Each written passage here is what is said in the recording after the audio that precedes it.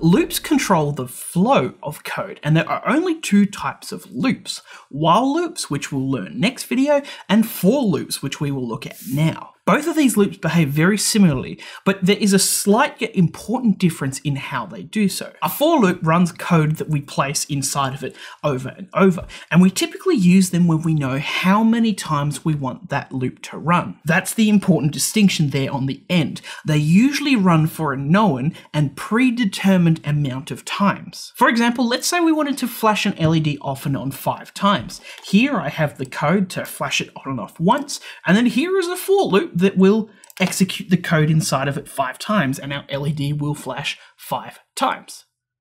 So we have the for keyword followed by a variable that we will use to count through the loops, the in keyword, which is part of this for structure, followed by range 5, which creates a sequence of five numbers in a row. And the result of this is that the loop will execute the code five times here. To help see what's going on here, I've created this loop that just prints the variable i as it goes through each iteration of its loop. And as you can see, it prints off 10 numbers counting up. This might not behave exactly as you think though, because this is zero indexed, meaning that it will start counting at zero and not one. So keep an eye out for that. It's just how the range function works. And computers and code and software like this kind of like starting at zero, when we in the real world like to start counting at one. So we can create a simple loop that runs the code inside of it for the amount of times we put in the brackets. But that variable i inside of the brackets is changing each loop, and we can use that to to perform tasks iteratively. Before we dive into that, we're going to learn how to more finely use that range function.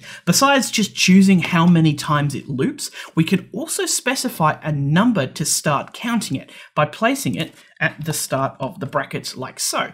So here it's going to start counting at 1 and end at 9. And we do have an issue here relating to the zero indexing. The reason it doesn't print to 10 even though we've got it in the brackets here is because this range function generates the numbers up to, but not including the number on the end. So if we wanted to count from 1 to 10, we would need to specify 1 and 11. This can be a little annoying sometimes, but it's just something we've got to get used to with MicroPython. We can also choose how much we want the loop to increase by by placing it on the end of the brackets there. For example, this code starts at 0, ends at 100 or 99 technically, and counts by 8 every single loop. Now we're equipped to use loops in a bread and butter application called a servo sweep. Let's say we wanted to use a servo and we set it to 0 degrees and then 180 degrees. When we do this, the servo will rotate as fast as it can between those two positions. But what if we wanted to control how fast it rotates, or maybe try and make that motion a little bit smoother?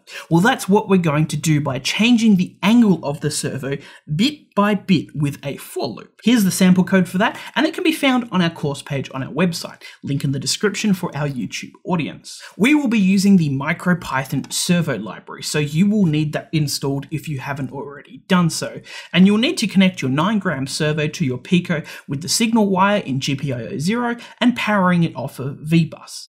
So here we are using a for loop with a bit of a modified range. We're going to start at 0 degrees and go all the way to 180 degrees, taking steps of 5, so 0, 5, 10, 15. Then in the for loop, we use the variable which we called angle and use it to set the angle on the servo. And then we've just got a quick sleep every cycle to help control the speed of the rotation. And then once that loop has finished counting to 180, we have another one that starts at 180 and goes to 0 in steps of negative negative 5. It's just the exact same but in reverse. And if we rotate it, you can see that the servo sweeps from one side to the other in a somewhat of a controlled fashion here. This is a bit rough though and could definitely do with some improvements. So if you wanted something to do, you could play around and you could make it smoother by reducing the step size and playing around with the sleep time to get some buttery smooth rotation. Just remember that the range function can only take a whole integer, meaning you can't use numbers with decimal points. You, you can't tell it to rotate by 0.1 of a degree. And this application of creating smooth motions with for loops is a really powerful tool and is great for anything PWM related. For example, this RGB LED is using for loops to cycle through all of its colors nice and smoothly. We're going to quickly go over lists, well, because they're important to learn, but they're also a powerful tool when paired with for loops. Lists are a data structure that let you store a collection of variables inside of it like a list. Here I'm creating a list called test lists, and as you can see, you can just add elements to it by separating them with a comma. And you can store any type of variable in it. Here I've got a string, an integer, and a float all in one list. To access an element inside the list, you can do so with the list name and then put the element you want to retrieve in the square brackets like so.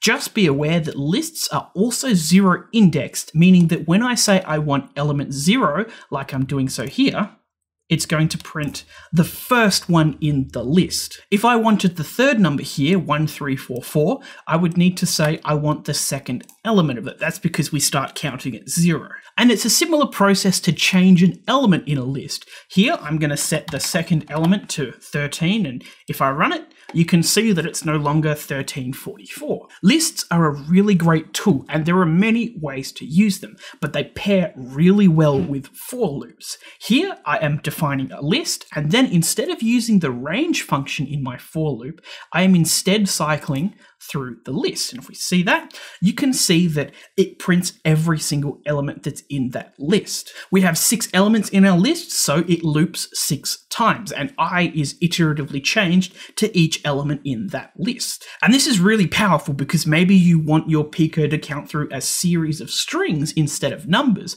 or maybe you want it to count through a set of numbers that you can't make with the range function. Whatever you want to count through, you can use lists to manually do so. All right, three key takeaways. One, for loops typically run for a known or predetermined amount of times. Two, you can use the range function to control how many times that for loop is going to loop, or you can get a bit more involved and specify the start, endpoint, and step size. And three, if you don't want to use range in your for loop, you can use a list, which allows you to store a collection of variables inside of it.